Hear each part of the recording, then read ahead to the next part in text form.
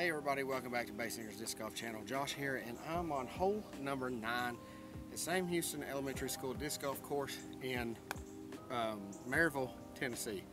Um, this one is the longest one on the course at 200 feet.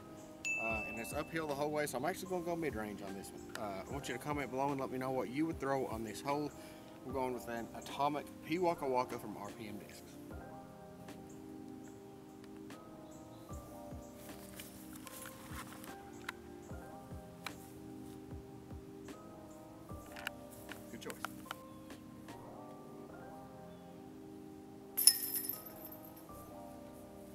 Hey!